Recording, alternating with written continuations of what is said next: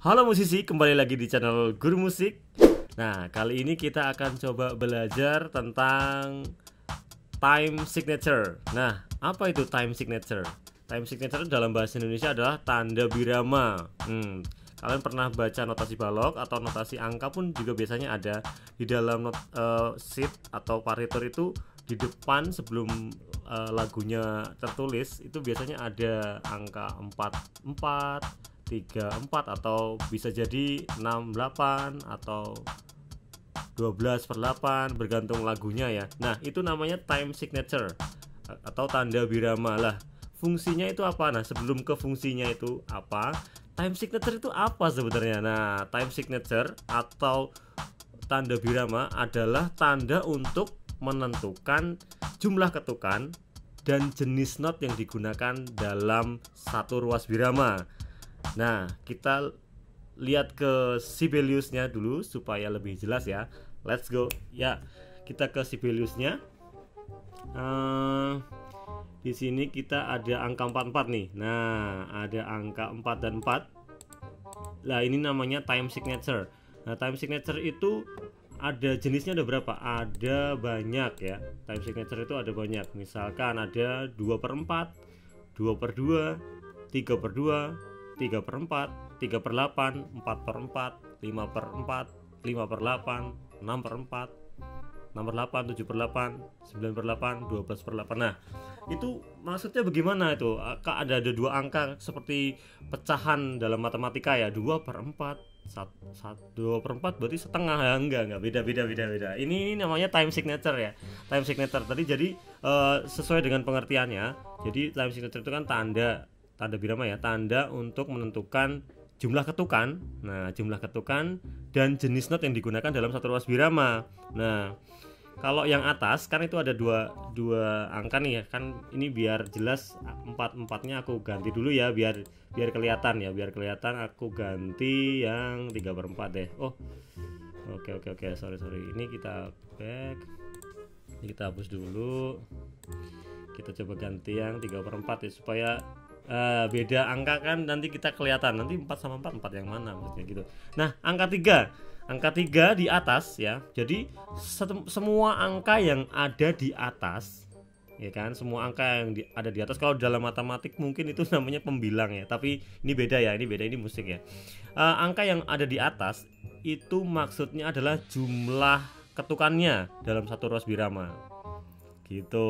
Jadi kalau tiga berarti satu ruas birama ini isinya tiga ketukan begitu. Nah untuk tahu itu ketukannya itu um, pakai not yang mana nah itu ada di dalam apa angka yang bawah ini. Nah, angka yang bawah ada angka 4 berarti not yang digunakan adalah not seperempatan nah, atau quarter not.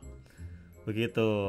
Jadi dalam satu ros birama ini terdapat tiga jenis not uh, quarter ya. Tiga jenis not quarter. Jadi tiga ketukan jenisnya quarter not begitu. Misalkan ini kan 3 per 4 coba kita kasih begini. Nah lebih jelas ya kan? Ini kan quarter not nih. Nah ada tiga tuh. Nah ya kan? Ada tiga setiap ruas birama. Ini satu ruas birama tuh segini ya. Ini kotak yang aku tunjukin di pakai kursor. Ini adalah birama kedua birama pertama ya dari awal start not ini sampai sini. Nah ini ada garis birama gitu ya yang aku tunjukin sama kursor. Ini garis birama kemudian ini ketukan satu ketukan kedua ketukan ketiga. Nah ya kan satu ruas birama ini ada tiga ketuk. Kenapa? Ya karena uh, key signature-nya ah time signature-nya sorry.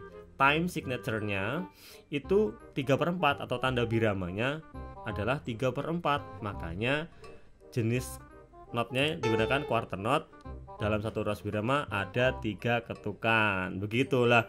Terus uh, pakai jenis not yang lain boleh nggak? Boleh banget. Boleh banget. Misalkan ini aku ganti ini. Ya udah jadi tinggal notnya tinggal dua isinya dalam satu ras birama jadi bukan berapa jumlah not dalam ruas birama bukan tapi jumlah ketukan. Ya kan? Ini kan ketukannya dua nih ya kan? Nah ini ketukannya dua yang ini satu. Begitu. Jadi hati-hati teman-teman jangan terkecoh dengan ketukan atau jumlah not ya. Kalau jumlah not tuh bisa jadi banyak bisa banyak. Ini ini aku jadi banyak nih. Nih banyak nih. Ya kan? Tuh banyak. Padahal sama-sama 3 per 4 gitu. Karena jenis notnya lain begitu. Nah, jenis notnya lain. Gitu. Ini notnya ada berapa nih? 8 10 ya kan? Masa jadi uh, ini pengaruh sama tanda biramanya? Enggak. Nah gitu. Tanda biramanya tetap sama 3 per 4 karena 3 per 4 artinya saya ulangi lagi uh, dalam satu ruas birama terdapat tiga ketukan. Nah dan jenis notnya adalah quarter note nah jenis notnya karena yang di bawah ini angkanya, angkanya 4 ya. Oke kita coba switch ya. Kita coba ganti. Ini hapus dulu Oke, kita coba ganti dengan tanda birama yang lain. Misalkan ada jenis tanda tanda birama 6 per 8. Nah, jadi menurut teman-teman bagaimana artinya ini? 6 per 8. Iya betul. Jadi dalam satu ros birama ada 6 ketuk, ada 6 ketukan. Nah, dan jenis not yang digunakan untuk satu ketiap satu ketuknya adalah not seperdelapanan atau eight not Nah, eight note yang kayak gimana? Lupa. Oh, enggak lupa ya, benar gini. Nah, ini eight note yang ada bendera satu. Oke. Jadi ada totalnya ada berapa tadi? 6 ya. Betul. Karena namanya tanda biramanya adalah 6 per 8 begitu atau time signature-nya adalah 6 per 8 jadi dalam satu ros birama isinya ada 6 ketuk dengan jenis not 8 not paham ya karena 6 per 8 Terus ini pakai not yang lain bisa? Bisa seperti tadi. Yang penting jumlahnya tetap 6. Begitu. Ini berarti jadi ini. Nah. Notnya cuma dua nih ya kan? Jangan jangan dihitung uh, ini jangan dihitung tiga ketuk ya beda ya ini 6 per 8 jadi ini ngitungnya 4 ketuk 1, 2, 3, 4, 5, 6 nah begitu jadi karena hitungannya 6 per 8 begitu gitu ya bedain dengan yang eh, 3 per 4 kalau 3 per 4 gue ngitungnya 1 2 3 gitu. Walaupun sama-sama dengan menggunakan apa namanya menggunakan not uh, half dan quarter tapi nanti akan beda ketika tanda biramanya berbeda. Ini misalkan yang tadi aku kasih yang nomor 8 ya.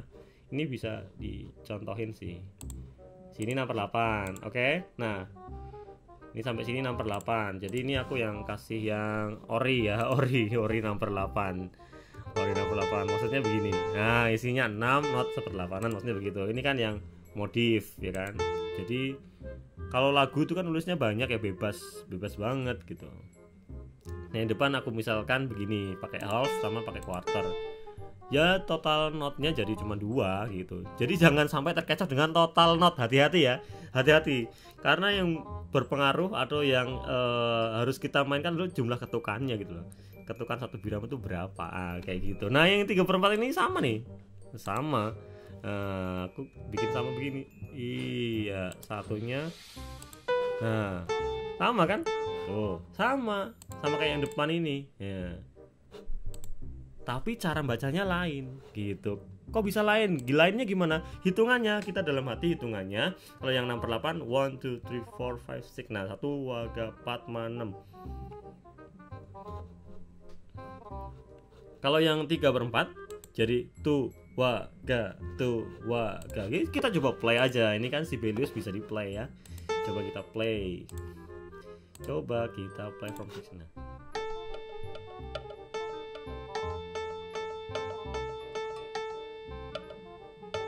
sini gitu jadi kalau yang uh, eh, 6 per 8 uh, eh, seolah-olah temponya lebih cepat begitu. Ini kan kita tulis misalkan temponya 75 ya. Jadi kalau 6 per 8 uh, eh, seperti tempo 150 berarti. Tik tik tik tik tik tik begitu.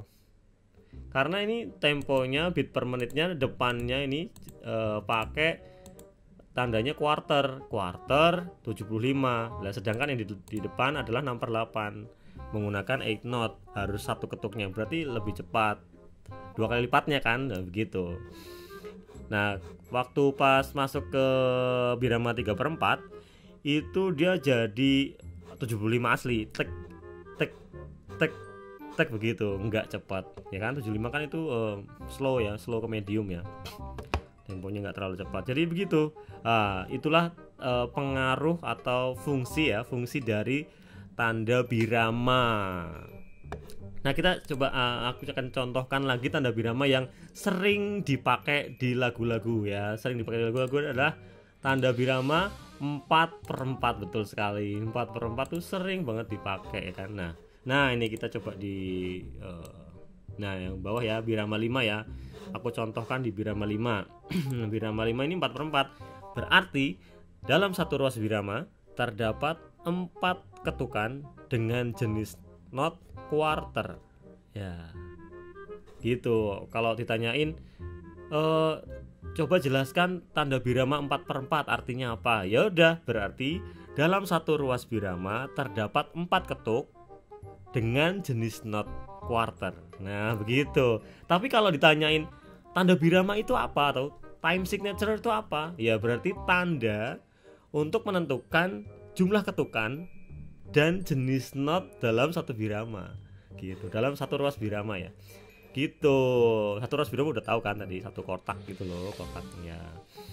Gitu teman-teman. Jadi uh, kesimpulannya adalah time signature itu berpengaruh sama uh, ketukan ya kita mau ngetukinnya uh, satu birama itu ada berapa? Nah, ada tiga atau ada empat.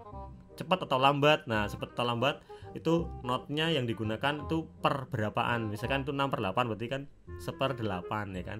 Berarti not yang digunakan untuk satu ketuknya adalah 8 not atau not seperdelapanan misalkan kalau 4 per 4 berarti ya not yang digunakan adalah perempatan 1 per 4 ya kan?